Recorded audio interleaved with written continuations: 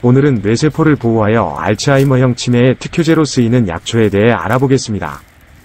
현대사회에서 기억력장애 및 뇌인지 기능 저하는 젊은 층에서 노년층에 이르기까지 중요한 관심의 대상이 되고 있습니다. 최근 의료기술의 발달로 인한 수명 연장으로 고령화가 가속화되면서 치매 환자 수는 급격히 증가하고 있는 추세입니다. 퇴행성 뇌질환 중에서 가장 흔한 질환은 알츠하이머병이고 2위가 루이소체 파킨슨병, 3위는 혈관성 치매로 알려져 있습니다. 알츠하이머는 머리에 아밀로이드랑 타우라는 물질이 쌓이면서 발생하고 파킨슨병은 뇌에 단백질이 축적되면 생기게 됩니다. 혈관성 치매는 단백질이 쌓이는 것이 아닌 뇌경색이나 출혈 같은 혈관병변에 의해 발생됩니다. 전 세계적으로 5천만 명 이상이 알츠하이머 치매를 겪고 있는데 국내에서는 65세 이상의 환자 비율이 5년마다 2배씩 증가하고 있습니다. 현재 실생활에 사용되고 있는 치매 약물 대부분은 신경 전달 기능을 강화시키는 콜리네스테라제 저해제가 있습니다. 이는 미국 식품의 약국에 승인된 타크린과 갈란타민 등의 약물이 사용되고 있지만 병이 진행을 더디게 하거나 일시적으로 증상을 안정시킬 수만 있습니다. 최근에는 여러 소화기계 장애나 간독성 및 심혈관계 등의 큰 부작용을 초래하기도 했습니다. 이러한 실정으로 치매 예방 및 치료를 위해서 부작용이 없고 자연에서 얻을 수 있는 천연식물의 아세틸콜린 저해제에 대한 관심이 늘고 있습니다. 현재 치매와 뇌혈관질에 쓰이는 대표적인 한약재로는 산삼과 청궁, 녹은 익모초 참당귀, 광나무 삼채 석창포, 율피 등이 치료에 적용되고 있습니다. 이 중 최근 기억 손상과 알츠하이머 치매에 효과가 입증된 삼채에 대해 알아보겠습니다.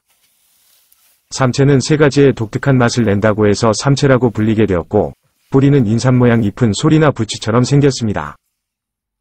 오래전부터 약용과 식용에서 건강보조식품 널리 사용되어 왔으며, 근래에 관심이 많은 이유는 식이유황과 아미노산이 많이 포함되어 있기 때문입니다.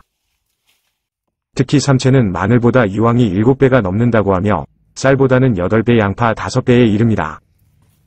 참고로 유황은 인체의 모든 세포에 존재하는 광물질이고, 이는 신진대사와 면역 증진 모발의 연골 기능에 핵심적인 역할을 하게 됩니다.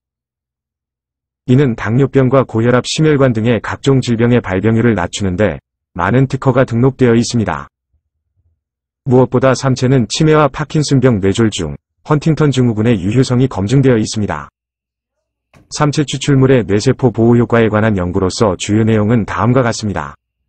국내에서 재배되고 있는 삼채에 대한 부위별 잎과 뿌리 전초로 나누어서 뇌마조직 세포의 보호 효과를 관찰하였습니다. 먼저 삼채 뿌리 추출물은 뇌세포에서 탁월한 신경보호 효과를 나타냈습니다. 세포의 희목시계나제인 항산화 효소를 증가시켜 세포 산화와 손상을 감소하고 핵내 축적을 상향 조절하였습니다. 또한 실험쥐의 뇌경색 감소와 운동 능력 향상, 기억 손상의 회복 등이 관찰되었고 학습 능력과 전뇌 쇠퇴를 예방할 수 있다고 보고하였습니다. 결과적으로 삼채뿌리 분말 추출물은 뇌신경보호 효과에 기여함에 따라 많은 신경퇴행성 질환을 치료하는 잠재적 제재가 될 수 있음을 판단하였습니다. 참고로 삼채 뿌리는 잎에 비해서 뇌세포 보호 효과에 더 효과적으로 작용하였는데 이는 유황 함유량이 잎보다 뿌리에 더 높게 나타났기 때문이라고 사료되었습니다. 삼채는 잎과 꽃줄기 뿌리까지 모든 부분을 식용과 약용으로 사용할 수 있습니다. 겨울에는 뿌리만 굴취해서 깨끗이 씻은 후에 잘 건조시켜 분말가루로 매일 복용하면 됩니다.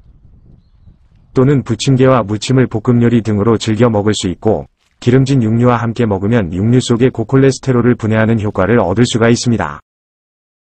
술을 담그실 경우에는 150에서 250g을 유리용기에 넣은 후에 30도 이상 소주를 부어서 꽉 밀봉하시면 됩니다.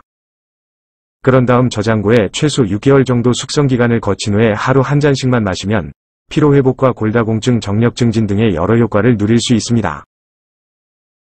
삼채는 지금까지 부작용에 대한 보고는 없었으나 따뜻한 성질이 강하기 때문에 열증이 많은 분들이 과다 복용할 경우에 복통과 설사가 따를 수가 있으니 주의해서 드시길 바랍니다. 시청해주셔서 감사합니다.